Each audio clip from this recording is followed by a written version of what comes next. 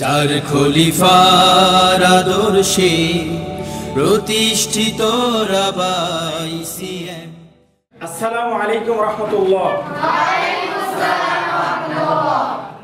كيف أنتم أيها الطلاب الأصدقاء؟ الحمد لله أنا بكل خير وعافية تفضلوا أيها الطلاب تفضلوا حياك الله أي يوم هذا؟ يوم الخميس. يوم الخميس.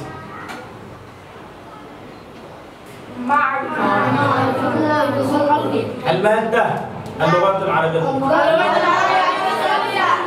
شكرا بارك الله فيكم.